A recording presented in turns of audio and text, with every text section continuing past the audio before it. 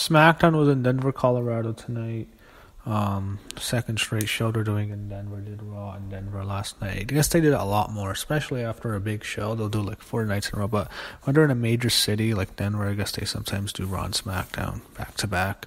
Plus Denver, it's um, you know, it's a major city. But where else you're gonna go? Really in Colorado, really a lot of people, and plus it's kind of the travel from Denver isn't the greatest. Um, so I guess it makes sense just do two shows there. So you have R-Truth out with Carmella. I don't want to watch. I'm like, oh, I don't want to see this. Carmella's brunette now. She has dark hair. Daniel Bryan comes out. He asks himself, questions suck. Um, yeah.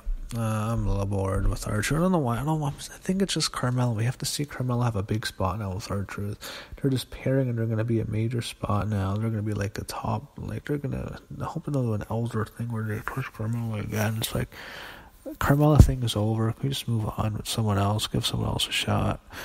Carmella has more ring time than Oscar. That's the problem. Um, yeah, they have Daniel Bryan calling himself D, and it was boring. Um, I didn't like it. They show Miz comes out, and I'm just bored to death of this feud. You know, it's funny. The Raw rating was fucking terrible. The SmackDown attendance was fucking terrible. So, this is WWE in the fall. This is really boring.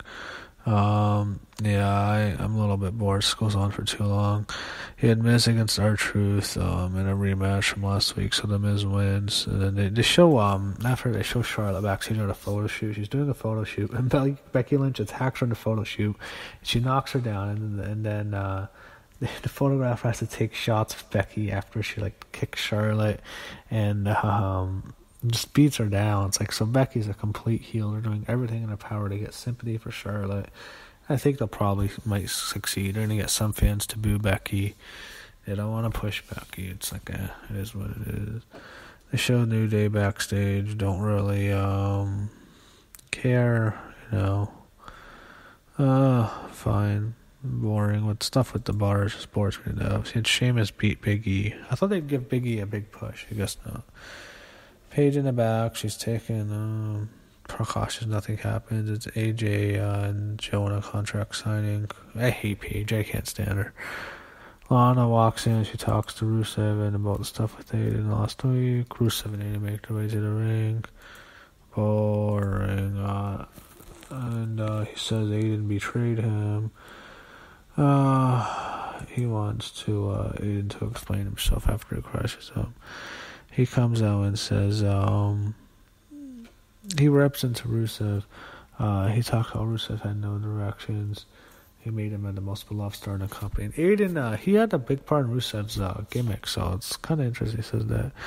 He talks about how Oliver at WrestleMania was cheering for them, which is true. All, just 70,000 people all of Bourbon Street night before All Chambers of Day. It's funny, like when WrestleMania first went to New Orleans, all they were doing was chanting yes. The second time, all they were doing in Bourbon Street, that same atmosphere from WrestleMania 30 to 34. 30 was all about yes. 34 it was all about Rusev Day. They didn't get what they wanted this time. Um, Rusev is massively over. God, not like what? So like six months ago, he's so over. Uh, Aiden's ripping into Lana, so I guess that's what they're gonna do. She happened. This doesn't hold it make any sense because Rusev's been Lana. He's been married to Lana for what three years or something it's been well eight and for a year. It's like this whole thing of a best friend, uh, and then you know the girl comes in and they and she ruined it. She's like the Yoko Ono or something. It makes no sense here because Ruth has been already married to Lana for like three years now. She's ruining it. That's not anything. That's just terrible. Um. And uh, this is uh, he rips into Lana. Um, she talks uh, being with Rusev. Um, yeah, again, they go back and forth, and then uh, here we go. They're doing something about Rusev and Lana, and Lana slept with Aiden English in Milwaukee. Great, great.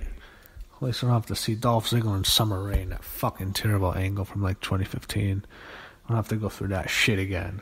Fuck sakes. Oh, that's exactly what we're gonna have to fucking see again. It's fucking bullshit.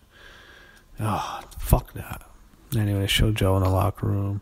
Show Naomi and Asuka getting ready for the match. They might be the first women's tag team champions if they introduce the tag belts. They might be pushing Naomi and Asuka. Maybe they push the Iconics. We'll see. Um, something's up with um, Bayley and Sasha. I don't think that's gonna happen because I don't know what's going on with Banks, but um, they show Naomi and Asuka getting ready for the match. So um, uh, they show Alana backstage. They show Becky talking to Lana. She says Milwaukee's a great town, um, and um, and uh, it was kind of funny actually. Uh, she's uh, was Becky was really funny here. I think Becky's just really awesome. I think she's funny. She's good. She's nice. She's very attractive. Great wrestler. Good on the mic. She has everything, but again, she's not hot blonde with big tits. She's very hot, but she's not blonde. She's not big tits. That's what they want. They show Billie Kay, Peyton Royce come out, and then they show um they show Mandy Rose and Sonya Deville making fun of uh, Asuka and Naomi. Naomi and Asuka beat Mandy Rose and Sonya Deville. Mm, boring. So it's Lon and Becky tonight. They show Nakamura uh, against Tye Dillinger. Uh, in a non-title match, uh, Dillinger wins by DQ, but then they show Orton come out, and uh, I guess it's Orton. He beats down Dillinger, and then uh, he's beating the hell out of Dillinger. Uh, and then um, they just beat the shit out of him. Orton and him both beat the shit out of him. It was interesting. I don't know what they're doing at Tye Dillinger here.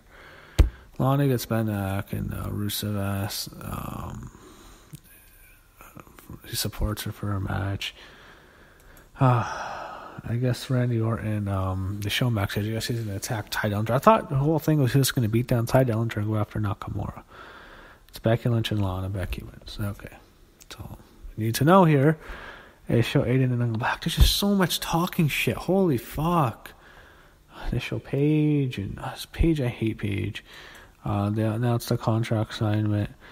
Uh,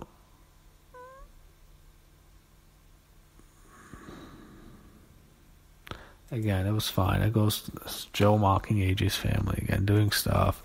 It was boring. Um, yeah, SmackDown deserves its low attendance. It's not very good. Neither product is good. Raw and SmackDown both suck right now. I'm very bored with both, with both products. Um, yeah, I don't really give a shit. If you can see, I'm pretty much phoning it in. Just read the spoilers.